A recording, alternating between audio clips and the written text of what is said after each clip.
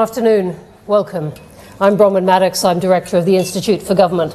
We're delighted to have here Andy Haldane, Chief Economist of the Bank of England, to talk about an economy that works for everyone and questions that might follow from that.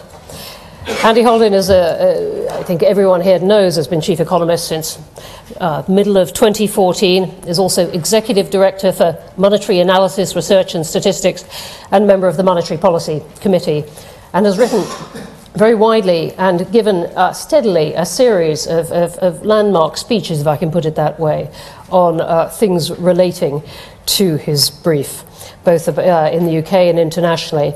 And uh, a few years ago, Time magazine called him, in one of these um, endlessly resonant, though always rather curious compliments, uh, one of the hundred most influential people in the world. That was even before uh, Brexit and so on.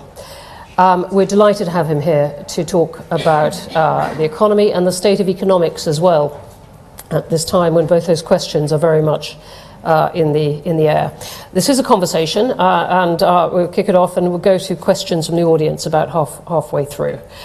Um, and Andy, thanks very much indeed for, for coming at this particularly lively time. Um, can we start with actually the title of this, this discussion about an economy that works for everyone? Where has the recovery left us? And um, how do we get to an economy that works for everyone? Uh, thanks, Bronwen. Happy New Year. Happy New Year to everyone. Um, well, I mean, it's been slow, the recovery, has it not? Um, even by the standards of other crisis related recoveries, this one has been slow. Certainly, materially slower than the recessions of the 70s, 80s, uh, and indeed 90s. And in fact, slower even uh, than the recovery here in the UK, slower even than the recovery from the Great Depression of the 1930s. So the pie has not been expanding as rapidly uh, as we would have wished, and has expanded less rapidly even than previous recessions uh, and crises. And if that were the whole story, it wouldn't be a great story. But actually, it's only half the story because alongside that uh, sluggishness uh, in the speed with which the pie has expanded has been a very unequal distribution of that pie. If you look at the recovery from the low point in 2009, 2010, for example, on a regional basis, it remains the case even today that only in London and the southeast is real GDP per head materially hmm. above what it was hmm. back then. Hmm. If you look at the distribution not by region, uh, but by age, compare the fortunes of the young and the old, you find quite a striking disparity. In general, you know, pensioners have seen their real incomes rise. The reverse has been true for those of working uh, age. Uh, you see some striking uh, discrepancies between different parts of the income and wealth distribution. Yeah. So, almost all of the wealth gains we've seen uh, accrue since the low point in 2009 2010 have accrued to the top quintile, the top 20% uh, of households who happen also, uh, on average, to be uh, the older cohort as well, above 45 or 65. So these um, already pre existing differences have, if anything, been widened during the course uh, of the recovery. So both slow and rather uh, uneven.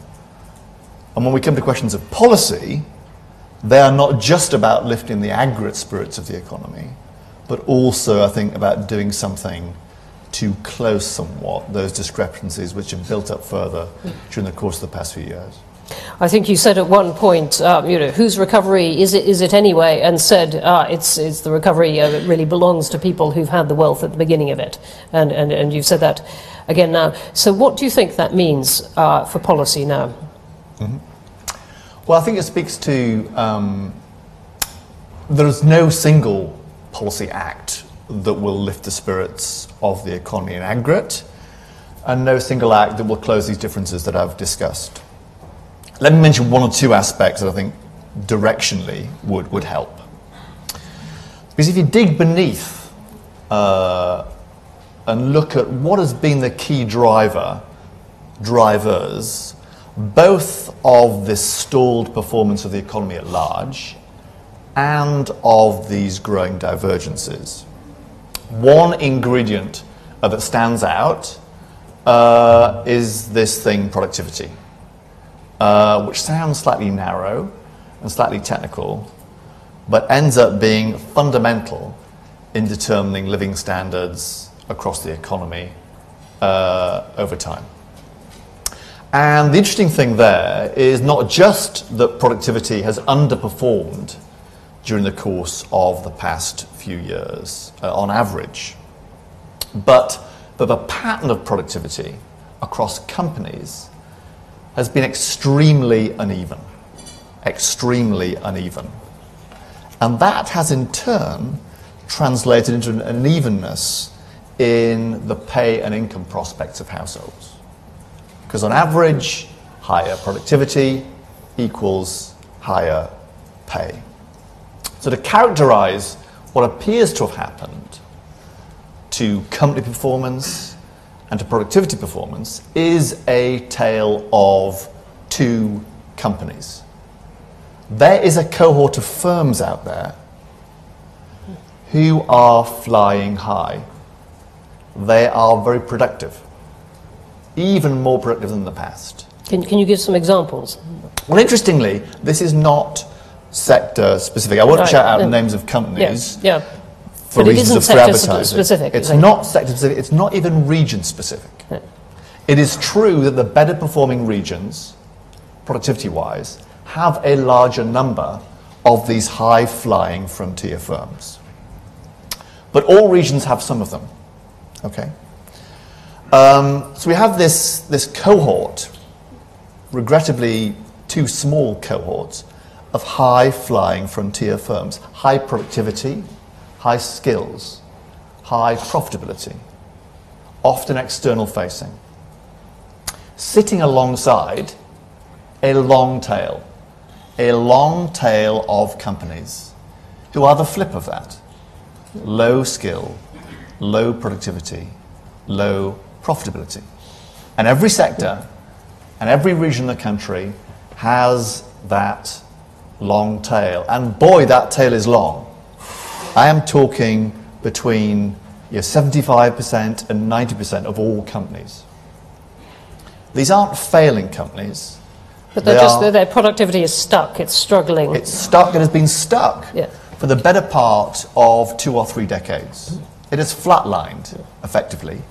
And as their productivity has flatlined, so too has the income prospects of those that work for those companies. A, direct link between this tale of two companies and the tale of two households of rising inequalities in productivity among firms and rising inequality among incomes of households. So while there is no magic bullet solution to the thing I've been describing, if something could be done to lift the spirits and productivity of this long tail of companies, that would go a long way towards not just having the pie expand at a more rapid rate of knots than in the past, but closing some of these discrepancies we see regionally, socioeconomically, uh, and uh, when it comes to questions of, of, of age as well. Right, but this, this is a problem, as you describe it, that has gone on for some decades. As you said, is underpinned by why a lot of wages have not risen in real terms Yeah. Uh, for a long time. Uh, way predates the financial crisis of Yeah. 2008, and all kinds of governments have launched themselves at it. You've no need to apologise for bringing in productivity um, as a apparently um, a kind of rarefied concept, because some people would say this is Britain's one of Britain's biggest problems. But many governments have tried to do something about it. Where do you think we are now in, uh, in still a very globalized world, um, a lot of technology coming at us down the line? Where are we in trying to do something about this problem that has been resisting all kinds of government efforts for a long time? Yeah, well, um, th- we now are uh, putting in place, or beginning to put in place, the first elements of an industrial strategy. Those words have also been used frequently in the past uh, and haven't always filled everyone's heart with joy, I know. But this is Um, something you support, no? I absolutely support. I think it's um, fundamental for speaking to these issues of productivity, of pay, and of place. Those three P's, I think, are fundamental to addressing some of the issues the UK and not just UK economy faces uh, right now pay, productivity, and place. And I would start with place. I would start with a strategy that spoke to uh, doing something to lift the spirits of this long tail I have spoken about. What sorts of things you're All about right, so yes, I, I am. What, what, what- makes a good industrial policy? And far be it from me, you know, Bank the Prime England. Minister said she wants one, but has, hasn't yet said we- exactly what's going to be in it. Well, let me mention one or two of the ingredients that I think are important, um, and some of them are kind of close to your own heart, uh, Bronwen. So, infrastructure is important. It is the connective tissue of the economy, not just in the kind of physical sense, getting from A to B, but having uh, local public goods that can support uh, skills uh, and investment and innovation. And we now have uh, plans on that front, issued at the time of the autumn statement, that are a first instalment towards uh, turning uh, the tables, turning the tide on infrastructure spend, where the UK historically has been a laggard uh, internationally, both total spend and particularly R&D spend. Uh, I think it does speak uh, to questions of uh, skill building. I know these are old chestnuts. That does not make them any less hmm. important. Let me hmm. mention one element of this that is, I've been giving a tiny bit of thought to just of late, which is a place where I think the UK is punching well below its weight in ways that are damaging to our economy's productivity, and that's numeracy.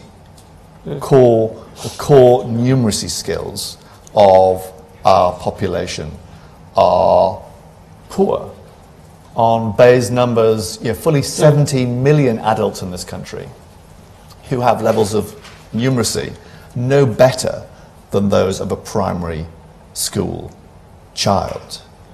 Recent OECD study looking at numeracy as it applies to financial literacy, UK comes at the bottom, comes 17th hmm. in the hmm. OECD hmm. league table, out of 17, just above Albania on questions of. This is something we care about a lot here and uh, actually do quite a lot on and are going to produce reports in the new year on. So um, we're absolutely with you on that.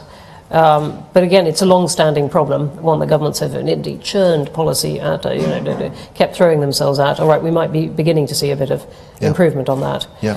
Um, so uh, uh, anyway, an industrial policy, in your view, would have these things uh, in it. Um, Can I mention one Yeah. more thing though? Because it Yeah. speaks directly to this tale of two companies that I mentioned. yes.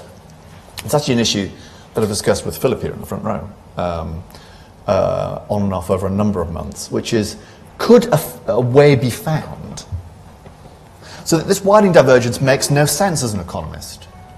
It, it stands in the face, flies in the face of standard economic theory, which would say that the laggards ought to be catching up with the frontier firms over time.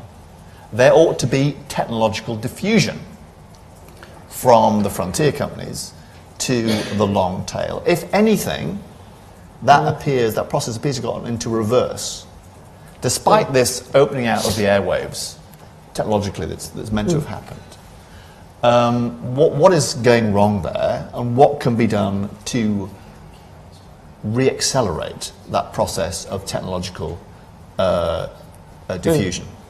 Well, I think there is a lot that could be done uh, by way of uh, learning by doing. So within each region in the country, and within each sector, there is example of best practice. if that best practice, if, if a way could be found of diffusing that best practice to that long tail, I think huge amounts could be done to lift, lift, lift its spirits and therefore lift the numbers. All right, well, this is a long debate, which we're not, we're not going to have here. Um, but, but thanks for that, that, um, that, taking us into the beginning of it there. Let me ask you though, about the state of economics uh, itself. Um, many forecasts uh, missed entirely the, the, financial crisis, or many models did, you know, and people are now mistrustful of uh, not just of experts but of uh, economists. What do you think? Um, what, what does economics have to say about its record in the past decade or so? Well, I think it's, it's a fair cop to say that uh, the profession is to some degree in crisis. Not the first time it's happened. Happened back in the 1930s at the time of the Great Depression. And out of that, something, something good sprung, actually. Out of that came, came Keynes and came the birth of modern macroeconomics. And out of this crisis, I think, could come. Well, that was going to be my next question. A yes, rebirth yes, yes. Of, of, of, economics. I, I am not one who would say that all that's been done in the past has somehow been terrible and pernicious and needs dumping. The models we had were just rather narrow and rather fragile. We were inhabiting, uh, there was a monoculture, a methodological monoculture in economics which was fine as long as the going was good. You know, models that are founded on broadly optimizing behavior, that are predicated on economy being close to a position of equilibrium, they serve as reasonably well when that's the way the economy is performing. So in that pre-crisis, that long honeymoon period that we hilariously called the Great Moderation, uh, guess what? Those models did perfectly fine in making sense of the relatively modest undulations up and down in the economy. Because it was relatively close to equilibrium and be- people were behaving broadly uh, rationally. The problem came, of course, uh, when the world was tipped upside down uh, and those same frameworks were ill equipped to making sense of behaviors that were deeply irrational or a state of the world that was deeply disequilibrium uh, in nature. Turns out that was a massive oversight because the world, pretty much every aspect of the world, every system in the world certainly, is fat tailed.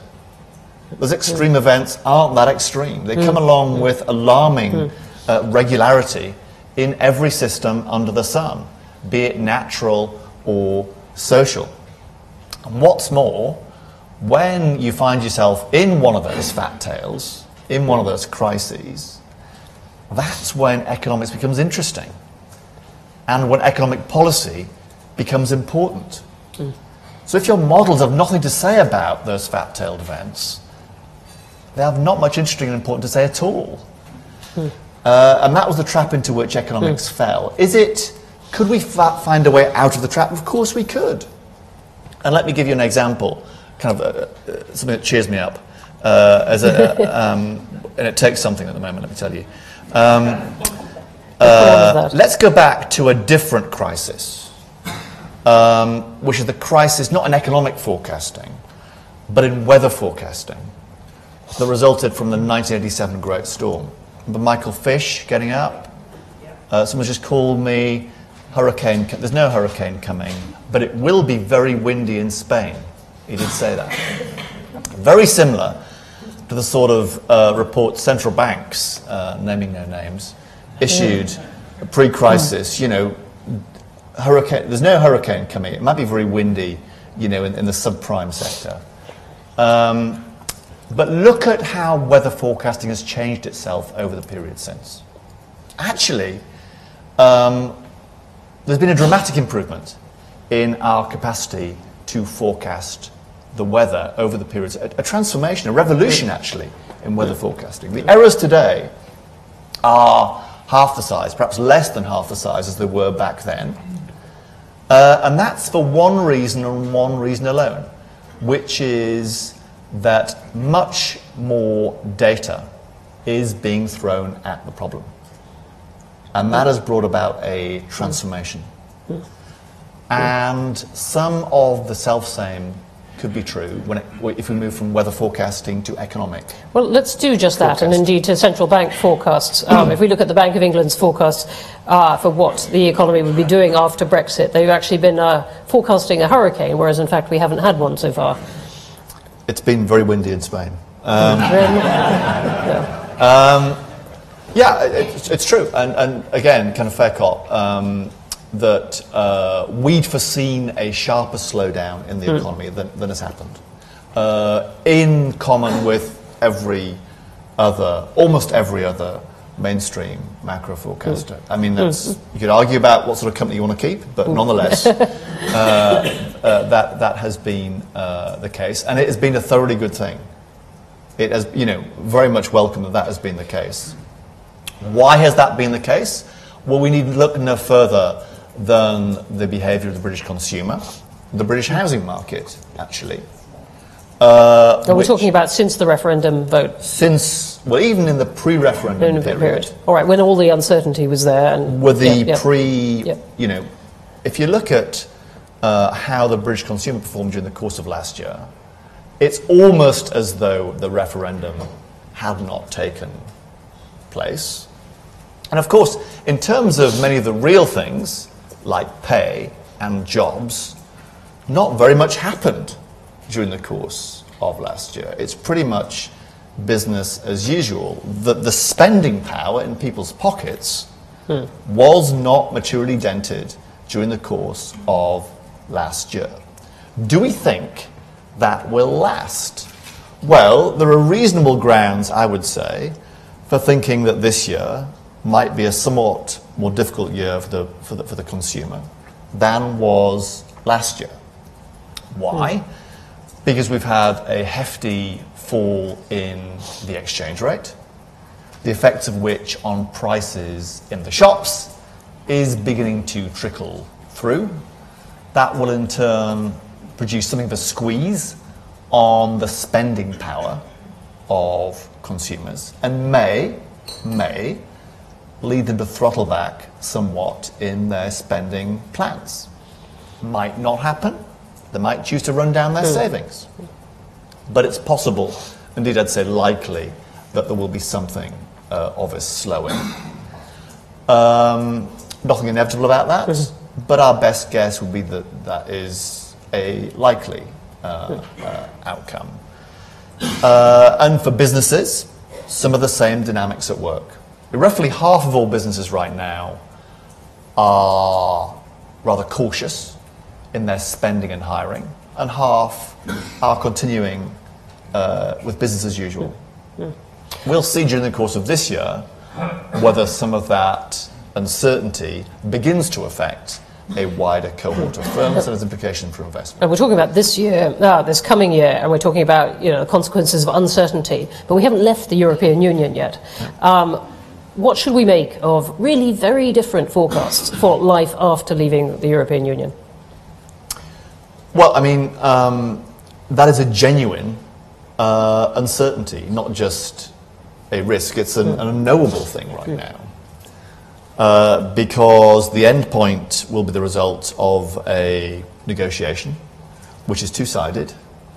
Uh, At, le- at least. at least two sided. Um, and the precise outcome of that right now is not just unknown, but unknowable. Not just economic forecasters, but to everyone. Faced with that, what's the best you as an economic forecaster can do?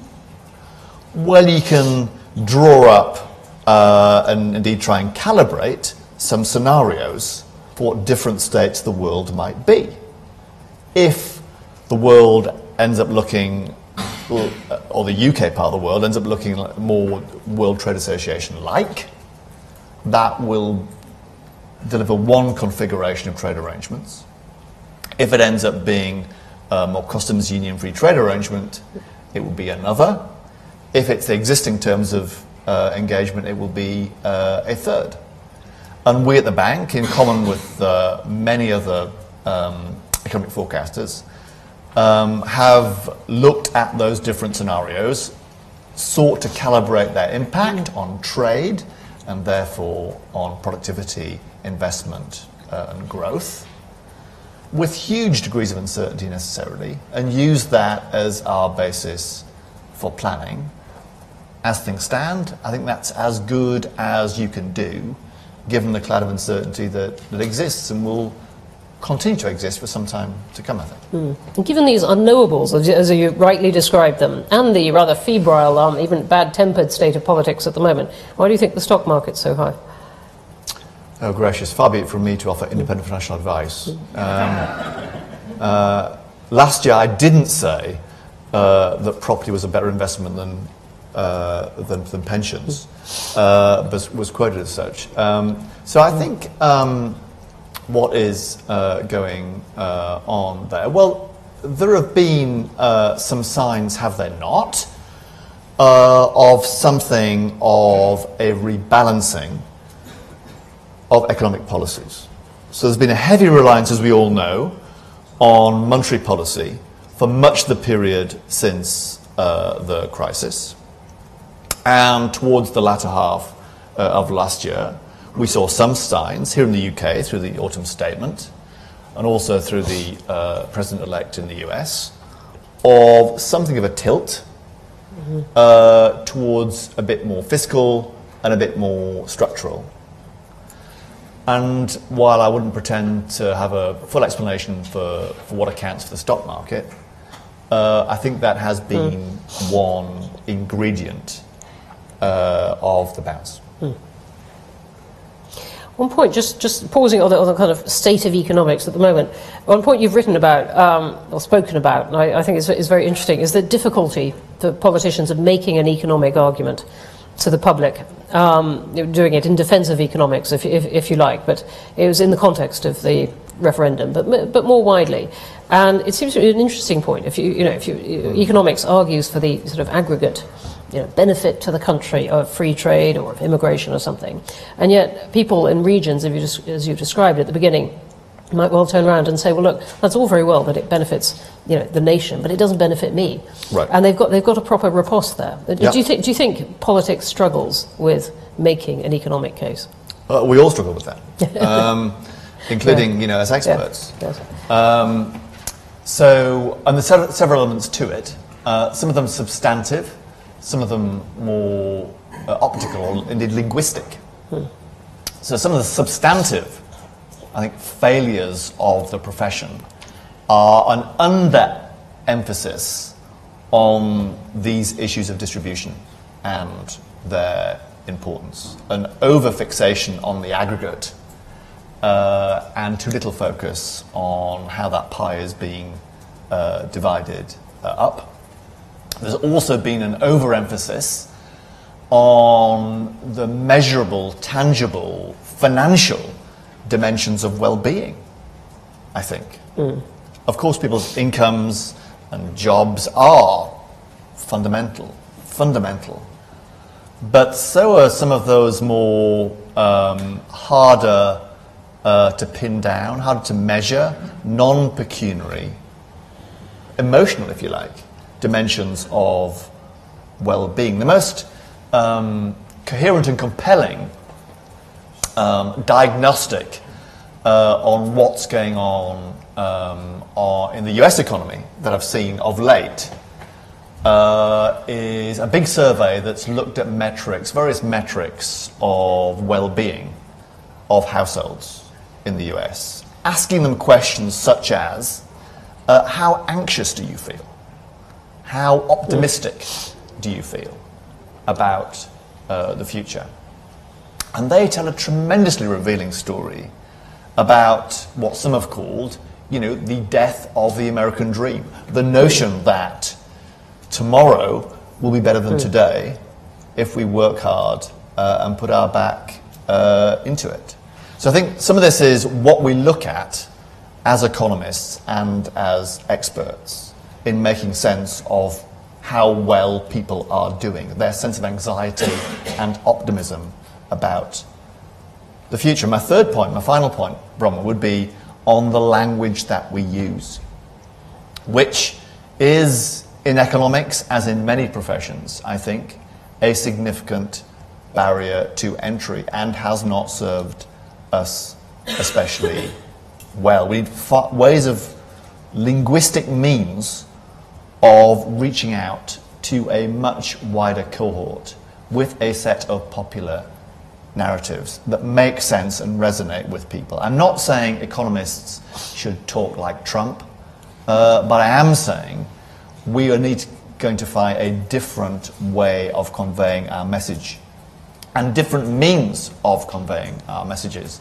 than we have in the past. And that might start the Bank of England. You know, uh, we need to find means of reaching out, not just to friends and relatives, those who read our stuff anyway, but every region and every cohort. And there's more we and others uh, and should do on that front, need to do on that front. That's right. This is something that the Prime Minister has obviously had in mind. She made at the Conservative Party um, conference a speech where she said, look, uh, quantitative easing was a big economic experiment, uh, obviously necessary, I think she, she pretty much said, in the, in the wake of the financial crisis, but it hasn't been good for everyone, she said. And she went on to criticize this era of super low interest rates and so on. Um, do you think she was right?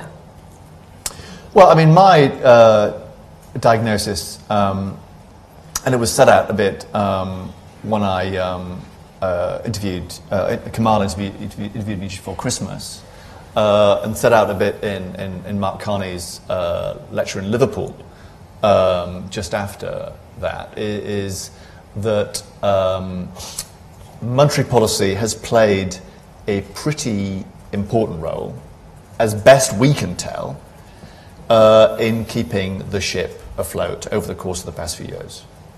So unemployment would have been materially higher in every region, in every region in the UK, had it not been for the monetary hmm. accommodations being put in place. And I'm talking, hmm. you know, three or four percentage points. Hmm.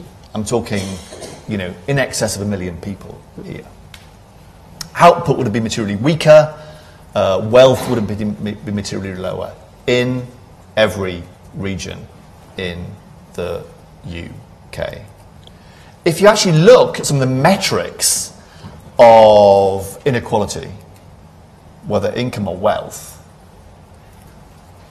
they haven't actually done very much uh, over the course of the last several years. So if there was a, um, a smoking gun here for monetary mm. policy mm. having caused some fissure of it, mm. it, it isn't there in the evidence as mm. best mm. uh, we can tell. Does that, however, mean that there aren't important questions of distribution? That do need to be tackled and engaged. Absolutely. That's why I've spoken at the very top of the show about one industrial strategy. Mm. I mean, another dimension of this would be the social mobility agenda, which has been, again, a, a fulcrum of the new government's policies, and I think rightly so. Mm. Mm. And just finally, before we go to questions, you mentioned Trump, and we have this title that we're, addressing, an economy that works for everyone. And as you've described, you know, he, he campaigned as saying, look, I'm, I'm here to speak for the people, as you, as you put it, who don't feel that even if they work hard, tomorrow is going to be better. What, what can we say, if anything, about what he's going to do in economic policy? Or is he another great unknowable? Um, well, I'm not sure these are knowable, but what quite uh, will happen, be it on fiscal or on tr- trade or on regulation, is, is currently unknown. Mm. Uh, I mean, much the same is true of Brexit. The full implications of that are yet to be known. Uh, and we'll have to wait. Uh, we'll have to wait, uh, I think, uh, and see. Right now, there is a very interesting disconnect between what we read in the papers about the degree of political and policy uncertainty, which by any historical metric is at high levels, and what we've seen from the economy and financial markets, which actually have been remarkably placid uh, during that same period. That disconnect, that bifurcation uh, between politics and policy on the one hand, and economics and finance on the other, cannot last forever. The will, at some stage, to be a reconciliation between the two. Quite how that reconciliation happens, I don't know. maybe the, some of the scariest stories politically will be shown to be just that. Scare the stories. politics gets more placid or cheerful, and, or the um, or the economics Or the gets much more more dismal. Right. Or instead, we meet in the middle somewhere. I mean, who knows? But um, at present, you know, at, at some point, these two parallel universes need to come together. I don't know whether that will happen next year. I don't know how that will happen, but it will happen. Thank you. On that note, for parallel universes, let's let's go ahead uh, go- here in the front. Um, it's Charlotte Lomas from Sky News. Um, today we've had. Sorry. Uh, Charlotte Lomas from Sky News.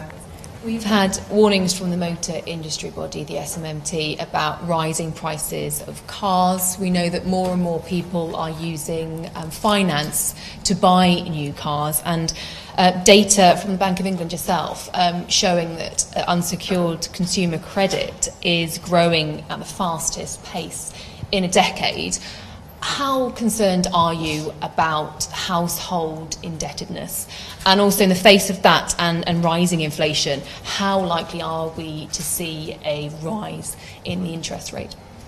Ah, that one. I knew we'd have that question eventually. Uh, so on the on the on the consumer, um, as I said, um, they've shown um, considerable resilience in their spending since the referendum, and that's been welcome in keeping the economy uh, ticking along. Some, uh, but not all of that, has been paid for by a pickup in unsecured borrowing, non-mortgage uh, borrowing. Uh, it's against a backcloth of household debt relative to incomes still being at relatively high levels by any historical comparison, and at relatively high levels by comparison with other countries uh, as well. Those would all be reasons for the bank, as it always is, uh, being rather vigilant. And you'll have seen uh, and read from our financial policy committee that this is something on which they're keeping a close weather eye, and they are right uh, so to do. Uh, nonetheless, we need to put all this in a bit of context. Uh, one is that you know aggregate borrowing by households isn't tearing away right now. We've gone through a long period where borrowing, both by companies and households, has been actually rather subdued. And in the main, that is still true for the largest part of borrowing, in other words, borrowing for house purchase. That's still growing at relatively modest uh, rates. Second, although the household debt ratio is high by historical comparison, uh, it's come down in a fairly sizable way by about 20 percentage points from its high point pre crisis. In other words, households have been paying back debt on average over that period. What's more, of course, interest rates are still very low. And if you believe financial markets, are expected to remain relatively low for the foreseeable future. So, so fewer concerns about debt servicing than would have been the case uh, in uh, the past. So um, I wouldn't want to be. Uh, th- there are reasons not to be too alarmist about this number ticking up into double digits. Equally, is it something we should be watching carefully? Uh, absolutely. Uh, and I'll be doing that. Well, you'll see from our most recent financial stability report uh, that we uh, that we are. And, the, and Great. in terms of the interest rate, just to follow up. Interest rates? Well, I mean, I think on that, uh, what do we expect to happen this year?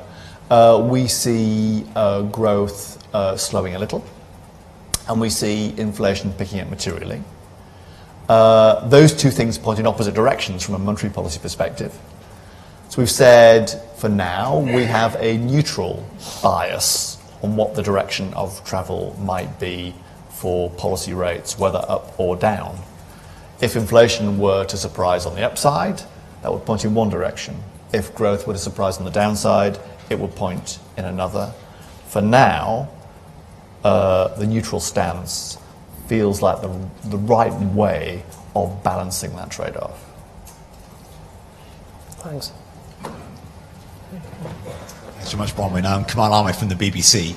Uh, Mr. Haldane, do you feel more confident now about the UK economy in 2017, given the very positive figures this morning on services, very positive figures on construction, very positive figures on manufacturing, than you and the bank did pre the referendum if there was a vote to leave the European Union? So, Kamal, I think um, near term, the data, the evidence we've been accumulating since the referendum has surprised to the upside. There's been greater resilience, in particular among consumers and in the housing market, than we had uh, expected. Has that led us to fundamentally change our view on the fortunes of the economy looking forward over the next several years? Uh, not really. Uh, this is more a question, I think, uh, of timing than of a fundamental reassessment uh, of the fortunes of the economy. So back in November, we published a, a forecast for inflation, uh, which was the highest we've ever published, and a forecast for growth in the UK economy that was the lowest uh, we have ever, uh, ever published. So we are still expecting this rather difficult balancing act for monetary policy with a slowing, not a huge slowing, but nonetheless a material slowing during the course of next year, as the effects of higher prices in the shops begin to chew away a little at the spending power of consumers and causes them to, to rein back a little in, uh, their, in their spending power. That remains, I think, our, our central view with, with huge amounts, of course, of, uh, of uncertainty around that. Great, thanks. Here in the front. Thanks. Uh, Philip Blond, Res Publica. Two questions, really. Uh, one, if you Well, can. well they're the Okay, same Philip. dimension. Um, trying to make good on Theresa May's speech, uh, uh, number 10. What can government really do to shift poverty, to, to have a response to poverty? What are your thoughts on economic nationalism? Is it simply to be dismissed, or are, are there some merits to it, particularly, for instance, around infant industries, around what Trump's proposing, that could actually make a great difference in the age of failing globalization? Second No, part, uh, same, same, it's a it's great same- question. Same, same question in terms of welfare programs. No, it isn't. Uh, it is. It's about what government, what government can do. There's a recent book on Bedford Stuyvesant about how Johnson's war on poverty in black America failed despite millions, top down. It concludes, and it's written by a left wing academic, um, that essentially culture matters more than anything else. Culture's the determinant in lifting poverty. And we have no way for government to change culture. So, two big questions about what government Philip, Philip, can do Philip, to th- shift thank you for that. Beautifully put. And you, you have my license if you want it to answer just one of your choice. Or, or There's a did, lot of did people want to get questions Um, in. Yeah. Uh, so the- economic nationalism um, or, um, or welfare. So on, so on, I think this speaks to your uh, question, not all the dimensions of it, Philip, uh, for which apologies in, uh, in advance. Um, so we haven't discussed very much, but I think it, it lies at the root of, of some of the issues you raise. Um, uh, uh, questions of social mobility, or the lack thereof. Um, on some estimates, uh, on some proxies, social mobility in this country is, is relatively unchanged for several centuries. Uh, and on the more recent estimates uh, from Alan Milburn's uh, Social Mobility Commission, it may in fact have, have gone backwards over the course uh, of the past few uh, decades. Um, which, if true, is ingraining uh, many of these distributional questions. Uh, we that were talking about right at the beginning. Spoken about Yeah. at, the, at the very beginning. Uh, what, what, what policies, uh, what issues speak, does, does that speak to? Well, well, one is that, you know, for me, uh, this, this, uh, this set of issues, even now, are, is not getting the airtime and energy that it, that, that it warrants. You know, relative to the other aspects of the diversity debate, this one has been rather low down uh, the agenda. We have no good metrics for measuring it. is, is one diagnostic on that being uh, the case. We know from studies that uh, these, um, uh, these different pathways are entrenched incredibly early on. So, we- so we know, I think, or have a good sense that you know this the high IQ poor child will be outperformed by the low IQ, IQ rich child by the time they're six or seven. At which point the branches just keep on uh, diverging. So early intervention is going to be absolutely essential if anything is to be done uh, about that. Um, looking at questions, for example, of uh, recruitment processes for organizations like mine. Um, doing that in a more contextualized way that aims off and makes allowance for people's background and experience and school. All of these, I think, are dimensions that need to be social mobility is part of the problem. It will never deliver. Philip, thanks, thanks for that. And it's not to shut it. It's a really interesting topic, but there's a lot of hands up. Do you mind? Do you mind if we No, let's- pre- press on? Uh, there's one right at the back. Ah, it's been very, very patient. Thanks. And then I'll come to the cluster of ones in, at the front. Alan Howarth.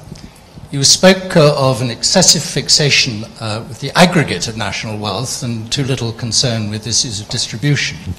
But with, with the endemic problem of productivity that you described, and with a shrinking proportion of the population being people of working age, a weak tax base, and excessive indebtedness, what scope do you actually see for, more, for more assertive policies to, to alter the distribution of income and of wealth?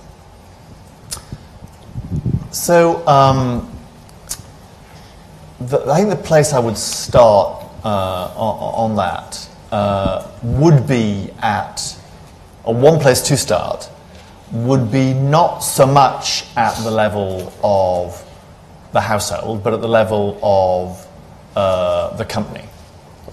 Uh, and uh, I, I do think there is a lot that could still uh, be done to lift the performance of that long tail of companies that I mentioned uh, earlier on in terms of investment, in terms of R&D, and therefore ultimately in terms of profitability and productivity.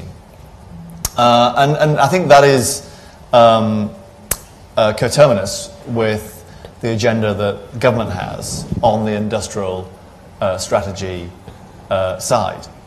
Uh, it will mean more being done infrastructurally. It will mean more being done uh, educationally and, and skill, uh, on, on skill building.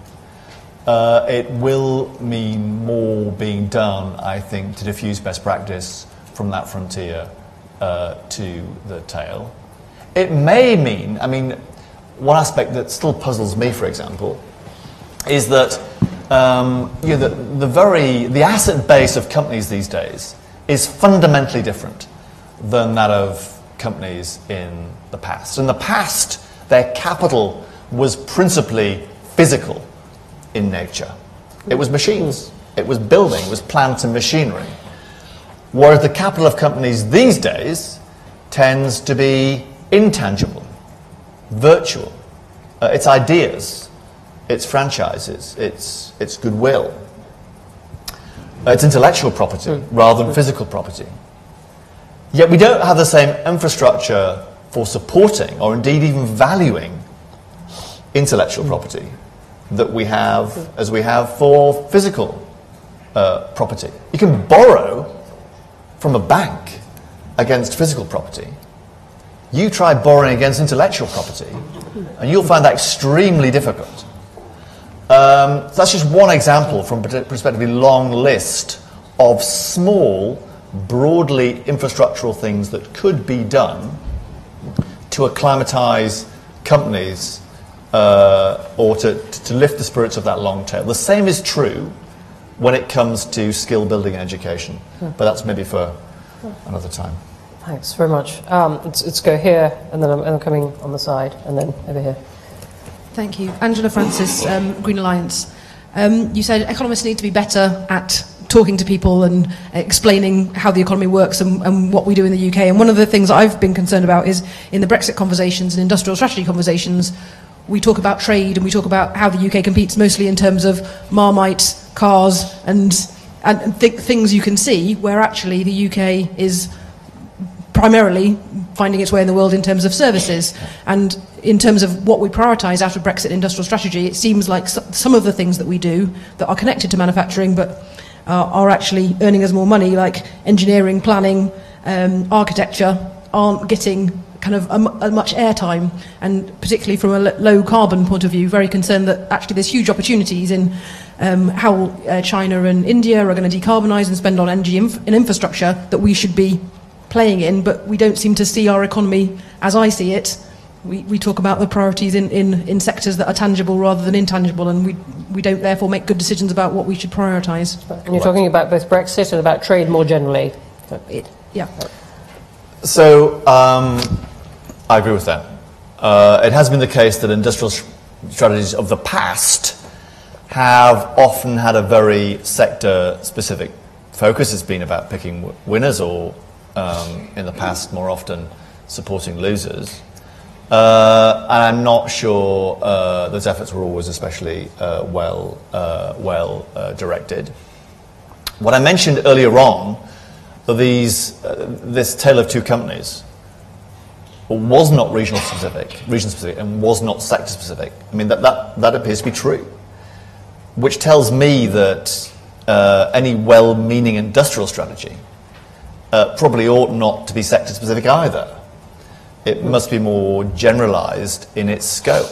Now, it is important to know uh, which of our sectors uh, are, uh, you know, what is it the UK does well? What are the things, uh, what are the activities where we have as a country a comparative advantage? Where do we sit in global supply chains that makes us an essential part of that loop? And how do we ensure that we remain an essential part of those global? That is a essay question worth uh, answering. And we have some answers to that. We think we know some sectors where we are, we, we punch above our weight. Whether we've fully defined them yet, uh, I'm, not, uh, I'm not entirely uh, sure. We should do that. We should do that, you know, um, in a way that is blind to whether that is, you know, um, manufacturing or services, uh, whether it's producing tangible things uh, or, or virtual things. Uh, and hopefully, you know, without prejudice to where those sectors have been you know, in the past. I mean, the truth is, uh, financial services is a very significant earner for UK uh, PLC. It delivers a, a big, on its own, a big current account surplus uh, for the UK, without which our 7% of GDP current account deficit would be even, uh, would be even larger. And whatever your you know, subjective or emotional view on the merits of financial services is, is an area where the UK, um, you know, by, uh, as the facts reveal, does do relatively well. That doesn't mean it's the most important thing or the only important thing, but having some awareness of what we do well as a country, I think, is going to be crucial for these negotiations ahead. Thanks. Here on the side. Hmm. Sorry, this way? Roman? Yes, uh, right, right at the edge. Thank, thanks for being patient. Thank you. I'm Haider Rida from Bain & Company. Um, I wonder how certain we are that there is indeed that productivity decline and how conceptually we can explain it. Because if we look back since the Industrial Revolution, the, the drivers of the productivity growth, increased knowledge exchange, increased uh, financial access, etc., are still there Yeah. and even accelerating. So I always had this hypothesis that maybe the reason we see a productivity decline now is that because we're measuring the wrong things and we don't know how to measure some of those intangible assets productivity results. Yeah. Therefore, I found it very interesting that you said you looked at it on a company level and you still see it there. Therefore, is the, the, the question is, are, you, are we really certain that it's not a measurement issue or could it still be one? And if we are certain that it isn't, what are the key drivers we're missing given that all these other drivers are still pointing towards increased productivity? Yeah. Thank you.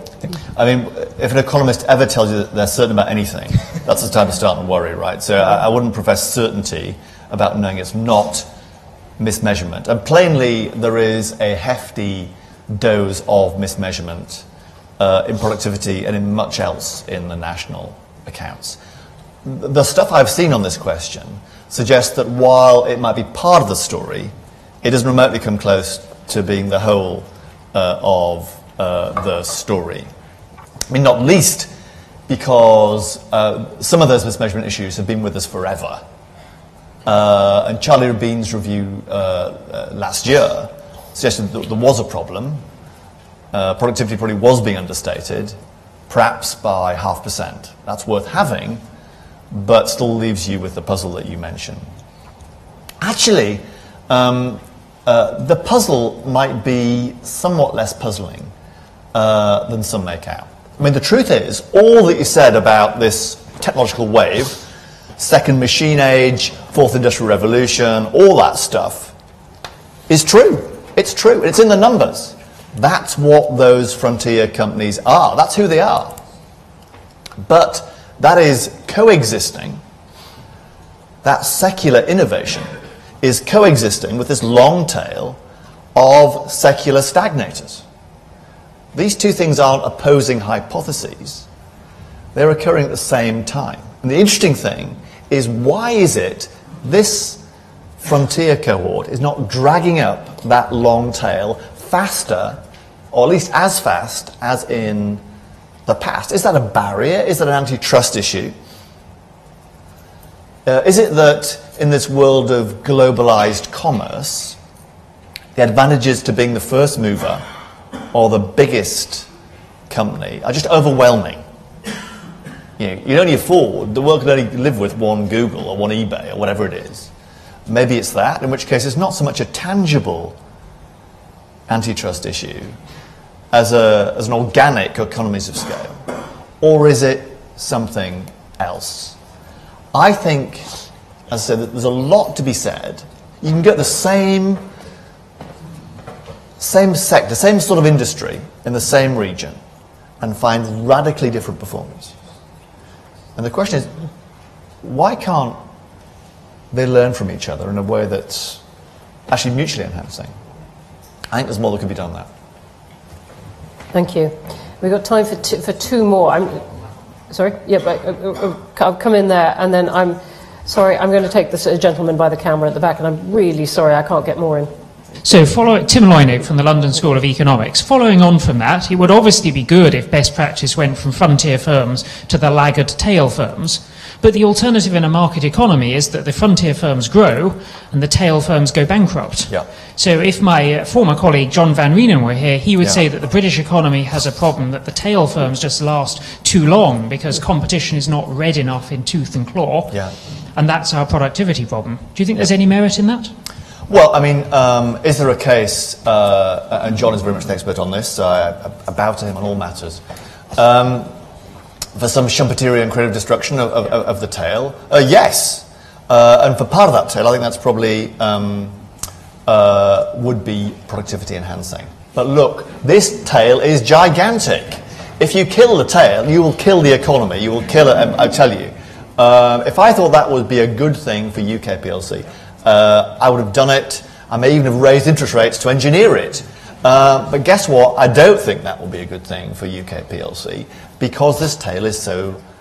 It's not really about, a tail, is it? I mean, it's not really, it, it's it, the it is the, the mass. Yeah. you know, it's the, it is the dog. You're right. Um, it is the dog. Yeah. yeah. All right. Thank, thank you. And then over, over here. Um. Paul, Paul Hodges. Um, Andy, Thank you very much indeed for another stimulating talk. You made a comment just now about is it something else? And at the start, you talked about the need perhaps to reinvent or rethink economics. And you also made a point about the failure of con- conventional economics to explain this difference between the, the frontier companies and the others. Uh, just before Christmas, the bank put out a, a, a survey of spending with relation to interest rates and monetary policy, which suggested that, again, and I quote, quote almost exactly, conventional economics would have said that if you pass on lower interest rates, people will spend more, but in fact only 10% of people did. So what I wanted to ask you was, is this something else due, due to really significant demographic changes in the economy? That we now have a group of baby boomers, the largest ever group of people in the population, who are refusing to die at 65, as they would have done in the past, and in fact, they are living now for another 20 years. And we have around one in five of the population in that age group. Um, my, my question really is therefore, does do you think that investigating this demographic impact, which has never happened before in the world, could be useful because I think that might provide the key, A, to a new type of economics, and also to this question of how we raise UK productivity. Um, You're not going to suggest getting rid of that tail? yeah, yeah, yeah, yeah. um, so, um, and Paul, I mean, your, work on this is a, a very good example of uh, uh, how demographics, you know, in mainstream economics has been uh, underemphasized for too long. That I think is changing, by the way. That I think is changing. Uh, and we are seeing, uh, for example, when people tell the story that I mentioned earlier on about secular stagnation, kind of Bob Gordon, Larry Summers type hypothesis, one of the factors that is pointed towards would be uh, demographic factors nudging us in that direction. When we're trying to make sense of why it is that interest rates globally uh, not one set by central banks, one set by financial markets, why they are so low for as far as the eye can see, part of the explanation, I think, lies in evolving demographics and the implications that has for both saving and for uh, in investment. The study you mentioned, I think, uh, which is a, a, study of households that we conduct on a regular basis to try and understand their patterns of spending and saving, is in some ways a very good example of all we've discussed uh, today. It's overtly distributional. It's saying we can't take the average person, the so called representative agent, and hope that by studying them we can make sense of what's going on. We need to be super granular, household by household, conditioning on whether they are a borrower uh, or a saver, whether they are young or whether they are old, whether they live in the northeast or whether they live uh, in the southwest, and using that to condition our policy responses, including our monetary policy responses. Because it could be the case that we reach the point where interest rates are a bit less potent in stimulating spending than was the case in the past. We shouldn't have fixed views or fixed multipliers about how monetary policy works. It can change as the economy can change. And by looking at this more granular data, like Michael Fish did after 1987, we can perhaps tomorrow, or failing that, the day after tomorrow, do a somewhat better job of making sense of what happens next in the economy. Mm. Andy, on that thank you very much for this very wide-ranging uh, talk, but bringing us uh, up to these most thoughtful points at the end about forecasting and the nature of forecasting, and uh, the day after the hurricane, if you like. Um, before I um, uh, ask you to join me in thanking Andy, um, can I just flag up a couple of IFG reports that are coming up which, given our conversation today, I think you might be particularly interested in. Uh, one coming very soon uh, in days, uh, from, uh, led by Jill Rutter, on tax policy and how the Chancellor might make it better. He has already taken up one of our suggestions to have only one uh, budget event a year, um, or so he says. Um, but that really, I recommend to you, is a very well written, unless you are immersed in making tax policy yourself. I defy you to read it without a sense of, they do what? Um, which is, is really very, very compelling in its arguments. We have also our uh, annual Whitehall Monitor uh, almanac of how Whitehall is, is doing, but with a Brexit tinge this year, led by uh, uh Gavin Freeguard. And also, uh, just going back to the beginning of our conversation, Uh, Emma Norris has led a very interesting piece of work out next month on just the sheer amount of churn in three areas of policy uh, further education, uh, industrial policy, and regional policy. And the charts in that are a comedy of themselves of successive governments and ministers throwing themselves at these initiatives, which then die and are replaced by others. Uh, our Brexit team will also be um, thundering along in its usual way, and we will release its reports with the usual drama when we judge the time is right. But look, thank you for joining us here. Um, thank you for terrific questions. I couldn't get uh, more in, and I'm very sorry for that. And please join me in thanking Andy Haldane.